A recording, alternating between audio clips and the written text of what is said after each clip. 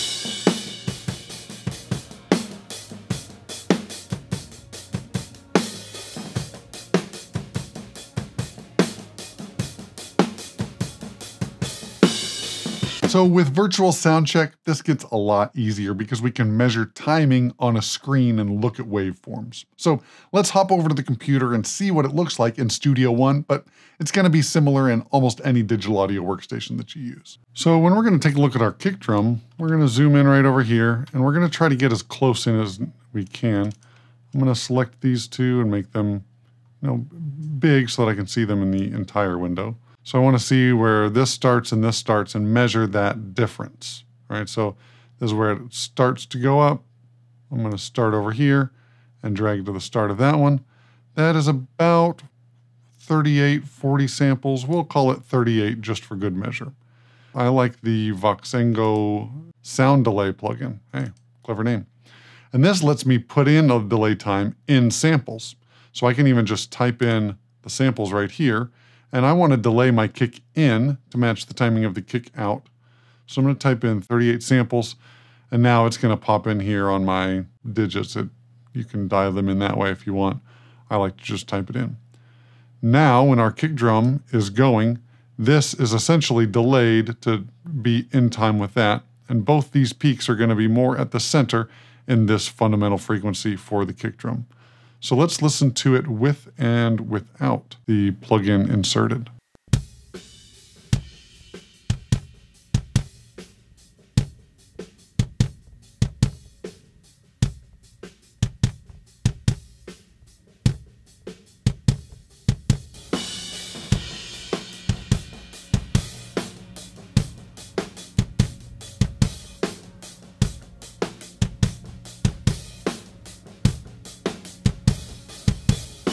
Next thing I would want to look at is the relationship between the snare drum and the overheads. And if you're recording with Virtual Sound Check to do this, it's helpful if you can drag your channels around to be able to put them beside one another. Again, it doesn't matter which hit we're going for, it's going to be about the same because our physics don't change. You can see that our snare drum is initially going negative pressure, so that means the top mic is not out of polarity with itself. And we're going to take a look here from where the overheads and the snare drum meet. Now we can see here, if we take a closer look at the overhead, we can see that the overheads are not time aligned well with the snare, where the snare is different distance from the overheads themselves. So I was going to go for my snare top to the overheads first, but I think what I'm going to do is go from my overhead channels in between them. So if I measure there, I'd say that's about 26 samples. So on my overhead channel, which I've put over here, I have this sound delay plugin, and you can route it to be dual mono. So this is going to allow you to delay one side differently than the other so that we can switch back and forth and do that. So my right side is the one that's earlier, and I want that to be delayed a little bit to match up with this left side. I think I said 23 millisecond, 23 samples, and maybe we'll hear a difference there, but if not, that'll be okay. Uh, life will go on if we're not perfect on this. So now I'm going to take this between my snare top and the later overhead, and that's 119 samples. So on my snare top, to load the same plug-in, you know, routing. I'm going to change it to default stereo. Now there's only, you know, one side to put it on. Now we're going to delay the snare top by this 119 samples. And now with just the snare and the overheads, let's listen to that and see what it sounds like with and without uh, both those sound delay plugins. Zoom out a little bit.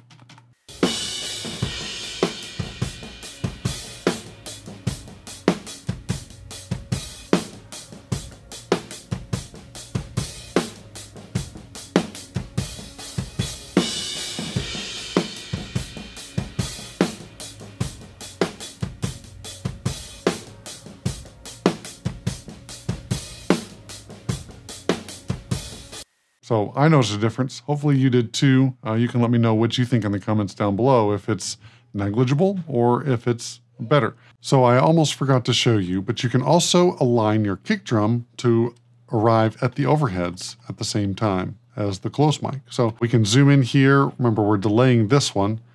So we're going to take the beginning of this one to the this one here because again, we're delaying the left side as well because those are not uh, perfectly the same distance from uh, both of those drums, uh, nor the overhead. We also could do the data zoom here, get a little bit finer control. We have 99 milliseconds, or excuse me, 99 samples. So on our delay from this kick drum, we can enter 99 samples. And then this one, we're going to add 38 and 99, which is 137. So now we can test and see, is this better? Is this worse? Let's listen to just the kick drum and the overheads and see if we like it with it or without it better.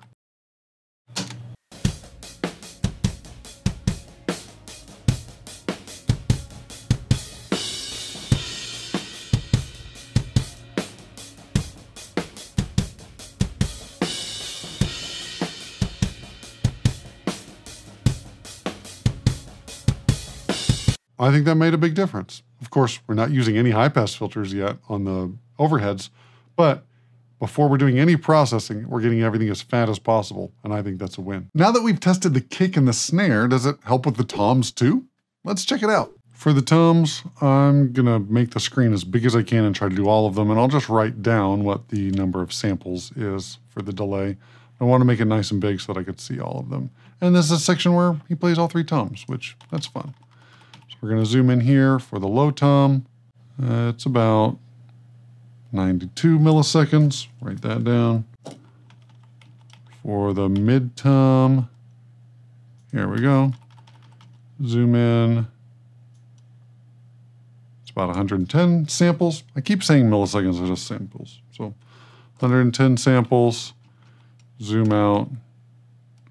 Find the high tom. And you can see it's a little bit closer to this microphone because it's on the other side of the kit. So we're going to measure to the closer microphone because I think that matters. So down here we're at 82 samples.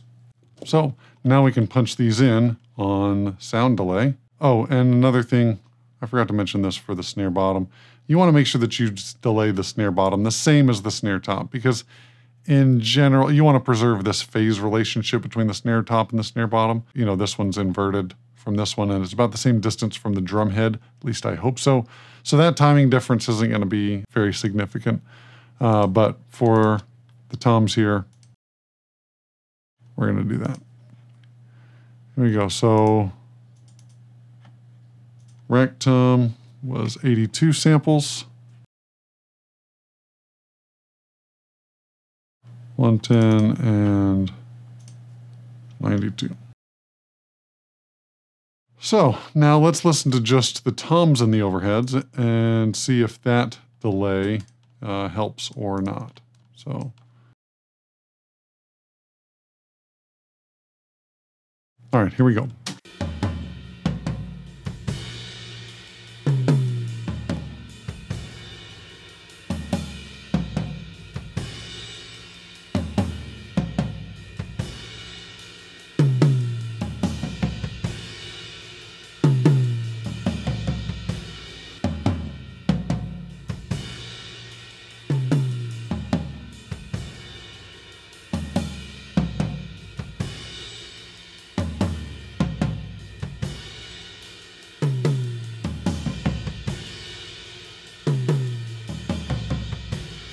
All right, for one last listen, let's A-B all of them on and off to see if we can get them all really time aligned and if we like the difference.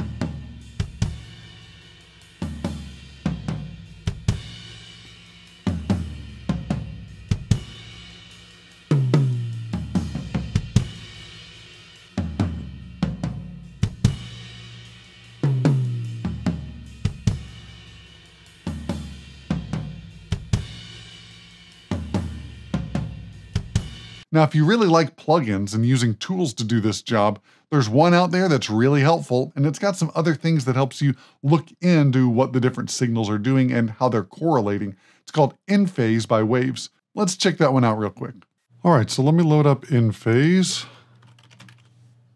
We're going to choose the live mono version.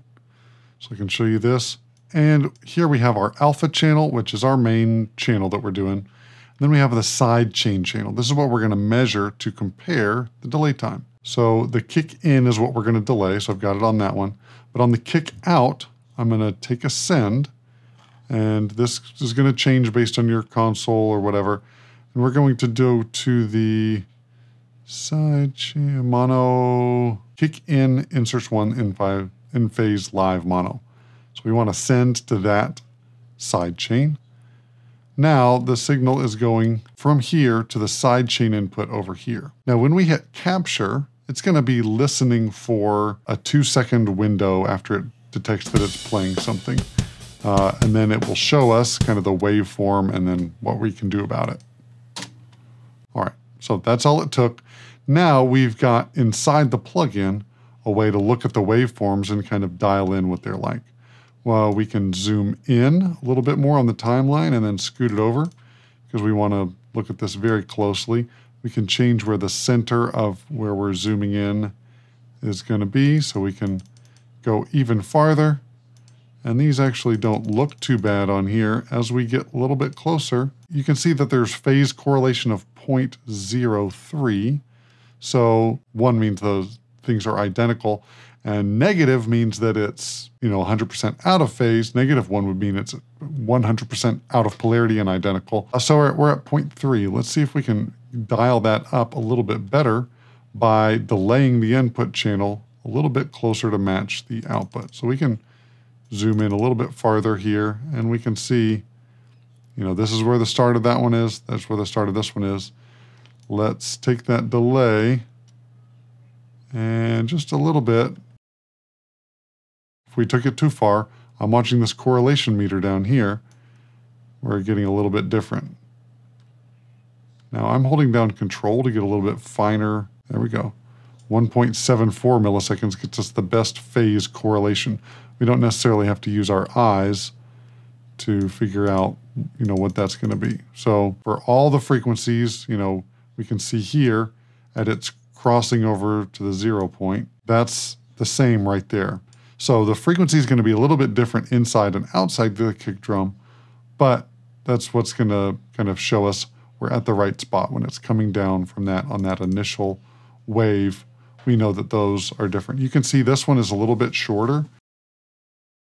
If we come over to this point, right where it starts to go down again, it hasn't quite gone there. So they're a little bit different frequency on the inside and the outside kick mic, but that initial rise, that initial impact that you're going to feel the most is happening right around here. And that's where we get the most correlation at 1.74 milliseconds.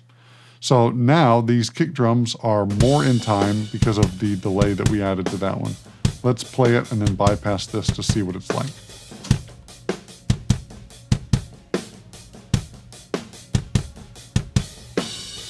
Now, I think that sounded better with it in, so I'm going to use it. Now, if you're going to buy some Waves plugins, you can use the link down in the description below, and it helps support the channel. So, what's the verdict about time aligning your drum mics to arrive all at the same time? Well, to be honest, I really didn't think I would love it, and I didn't think I would appreciate all the time and effort that it took to get it right. I thought there would be a lot less of a difference because of the snare drum arriving at the tom mics as well as the overheads, but it really did make a difference in the punchiness of the drums. Now, sometimes to really appreciate what's going on here, you have to not listen on a phone or even crappy earbuds and get some nice headphones or listen to it on a nice loud PA. Our ears perceive low frequencies a lot easier at higher SPLs, so if you can listen to these examples on a loud PA, you might be able to distinguish some differences that you didn't hear on your phone or on your computer that you can hear when you crank it up and it's got that big feeling. The other reason that made me skeptical and not really mind having timing differences between the different microphones